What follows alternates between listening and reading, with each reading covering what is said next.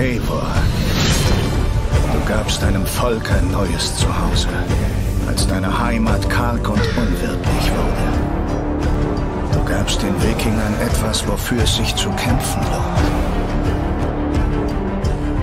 Du hast es geschafft, diese zerrütteten Königreiche zu zähmen. Aber deine größte Reise steht dir noch bevor. Nun geh, Eivor. Sichere dir deinen Platz in Valhalla. Ich sehe dein Schicksal.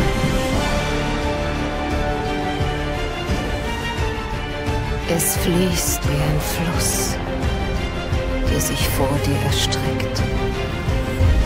Ich sehe, was du begehrst, was dich so weit in die Ferne zieht. In Länder voll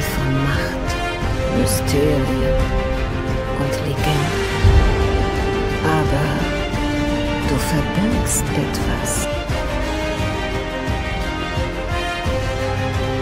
Du wandelst im Schatten.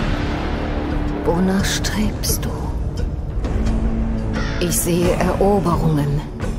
Ich sehe deine Feinde. Deine Mühen. Deine Zweifel. Dich erwartet Ruhm, Eivor. Doch er hat Preis.